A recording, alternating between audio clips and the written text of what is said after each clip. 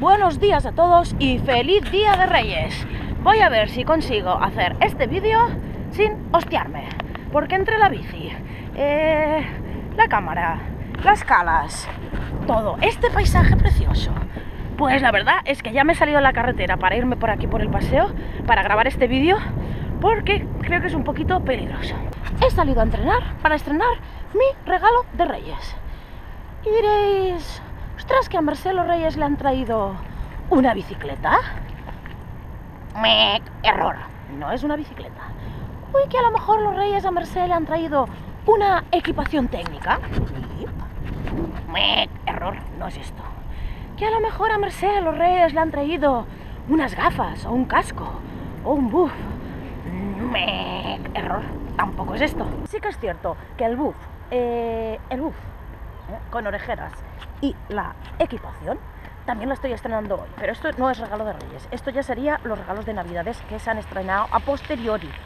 Pues el regalo de Reyes es el propio entreno en sí. Esta mañana, cuando me he despertado, como todo el mundo, he ido a ver qué me habían traído los Reyes y he abierto el mail y me he encontrado un mail de Saleta Castro.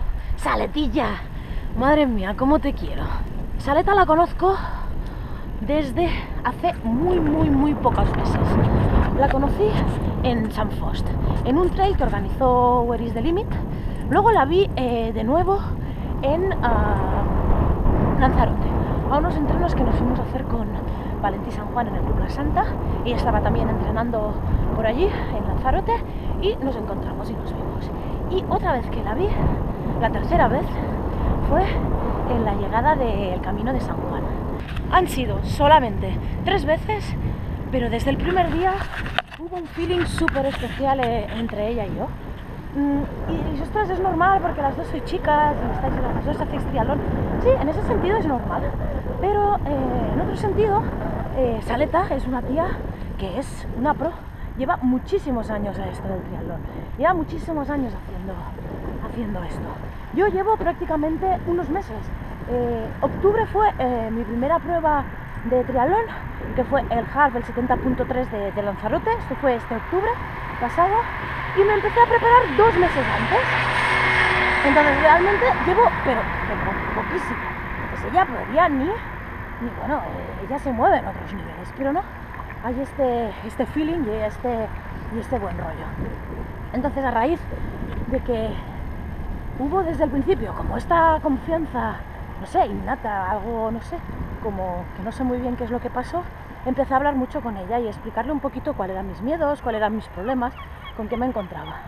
Y en el camino de San Juan le expliqué que tenía un poquito de, miedo con el tema del Ironman, que tenía muchas ganas, que estaba súper convencida que lo iba a hacer, pero así como el half lo había entrenado eh, yo yo solita de alguna manera, vale, sí, con la ayuda de, de Borja, de, de, con la ayuda de, de todo eh, el equipo de, de Where is the Limit, que también me echaron una mano, con la ayuda de y los consejos de Valentí.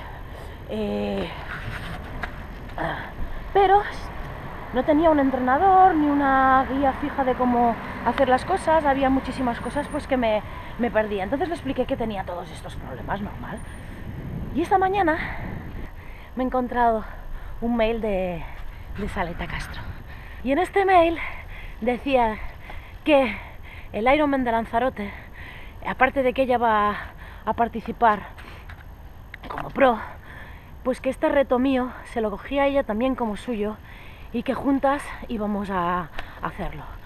Y me ha mandado una serie de recomendaciones, consejos, posibles entrenos de, técnica que yo no tenía ni idea de cómo hacerlos, que he querido poner en práctica ya desde hoy mismo. No he, perdido, no he querido perder ni un segundo. Entonces, de ahora hasta el día 17 de mayo, que es el half, quedan 20, ay, que es el half, que es el Ironman, perdón, quedan exactamente 20 semanas. Cada semana voy a ir publicando uno de estos entrenos que hago. Eh, muchísimas gracias a ti, Saleta, a todos los que me estáis apoyando, a todos los consejos que siempre son bienvenidos. Y os voy a pedir una cosita, eh, que aquí en este vídeo, en los comentarios, me dejéis todos los que estéis preparando para un Ironman, que sea la primera vez, o todos los que ya lo habéis hecho, que a lo mejor aquí nos podéis aconsejar y nos podéis ayudar muchísimo, pues que me dejéis vuestros comentarios, sugerencias, eh, yo qué sé, ojo con esto, ojo con lo otro. Eh, y así pues yo voy a ir poquito a poco intentando ponerlo en práctica o voy a tener allí pues ya una alerta de con lo que tengo que, que ir con cuidado. Muchísimas gracias a todos. Feliz Día de Reyes y a disfrutar, que son dos días. No os olvidéis de suscribiros en mi canal, porque si no, ya sabéis que me voy a ver en la obligación de descuartizar a alguien. Y a mí eso no me apetece.